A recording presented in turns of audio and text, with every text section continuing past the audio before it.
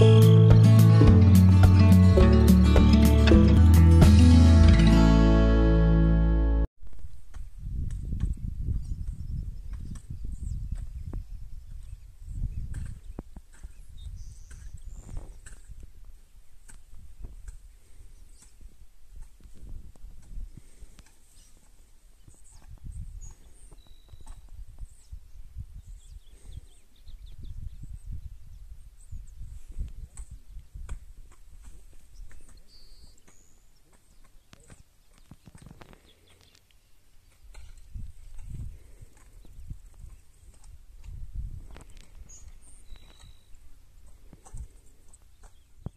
Olá meu povo, e aí, tudo bem com vocês?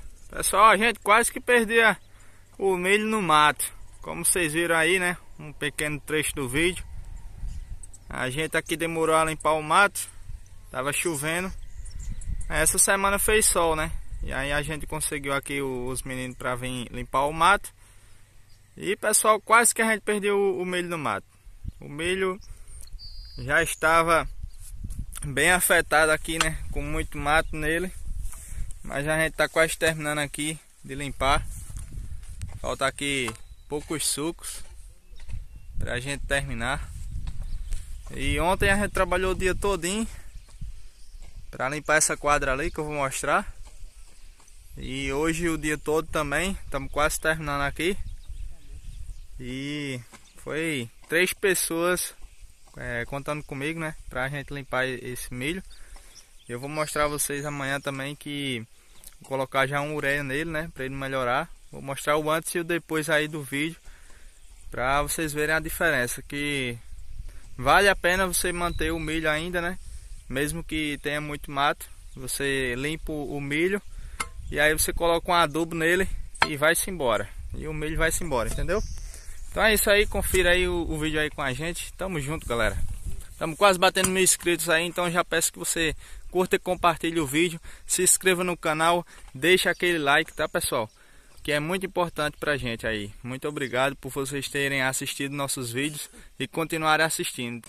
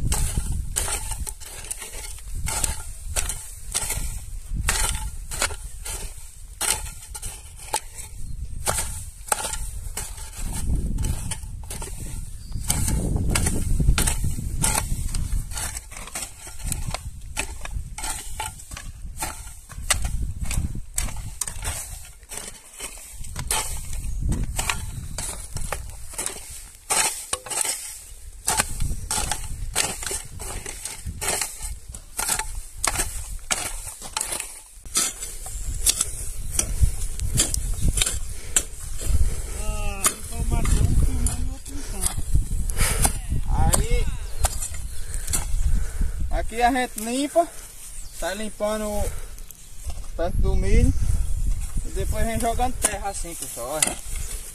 Igual tá sendo mostrado no vídeo. Aí. Aqui o mato morre e o mato que fica é pouco demais, não atrapalha o milho não. Aí. É melhor do que deixar ele sem limpar no grau. Olha só pessoal, o milho foi limpado, né? Ontem.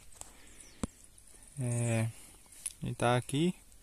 A gente tá aplicando é, sulfato de amônia, né? No tronco dele, uma pitadinha. Amanhã vai mostrá-lo aí. Em cada um, tá? E na metade da quadra pra lá, eu coloquei ureia para ver qual é o melhor para ser utilizado, sabe? E o sulfato ele é mais barato, porém deixa o solo mais salinizado, né? Deixa mais sal no solo. A quantidade de sal é maior no, no sulfato. E aí mãe tá colocando aí. Explica aí, mãe, pessoal. Então, aqui nós vamos fazer uma experiência, né? Para ver o que vai ser melhor, se vai ser a ureia ou o sulfato. Então a gente coloca mais ou menos isso aqui, ó. Entendeu? Juntinho ao pé. E a gente vai ver a diferença que vai ser, né? Então esse milho foi limpado segunda e terça, tava no mato danado. E a gente tá cuidando dele aqui, pessoal, para ver se ele vai sair, né? Vamos ver como é que ele vai ficar. É, o antes e o depois aí, né, pessoal? É. Vocês estão vendo que o milho tá fraco, né? Tem alguns pés que está bom, porque já foi colocado um 20 10 20 nele. É no gotejo, tá, pessoal? Não é indicado, mas eu coloquei. Porém choveu demais, né? Aí é, tinha muito mato, né? E para o milho sair, eu apliquei esse 20 10 20 aí, né? E aí ele tá dessa forma, ó, meio amarelado. É, tá fino, né? Ó, tem alguns pés aqui, ó. Olha a finura desse milho. Tá vendo? Bem fininho. Amarelo. Olha aqui como é que tá a folha dele. E é isso, pessoal. Depois a gente vai ver o antes e o depois aí. Tamo junto. Pessoal, aqui tá nosso milho, né? Depois de ter colocado o adubo. Mostrar aqui para vocês, né? Algum pé aqui. Olha só como ele tá já. É, já precisa passar veneno de novo, tá? É, tem a cigarrinha tá atacando aí, tem, tem largata atacando. Mas olha só, pessoal, como ele tá verdinho, né? A gente colocou o sulfato, ele já absorveu. Tem alguns pés ainda que tá fino, ó. Da grossura do meu dedo, tá vendo? Mas é isso, pessoal. Ele tá verdinho, ó. Como vocês podem ver aí, ó. Tá vendo? É... Ele melhorou bastante, né? E aqui no meio, pessoal, o que é que eu vou fazer? Passar roçadeira. Eu já estava fazendo aqui, ó, é, limpando a linha d'água com a roçadeira aqui. E falta daqui até lá na, na frente, né? Esse aqui é o outro milho, pessoal, que tá para chegar aí, né? Olha só como ele tá, né? Nasce mato no meio, mas não interfere mais na lavoura, tá? Não interfere mais. E a diferença, pessoal, aqui foi colocado ureia nesse, né? Nesse milho. Olha, ela tava quase perdido, né? E aí a gente limpou ele, tava bastante amarelo. E a adubação aí correta, né? Com ureia ou sulfato.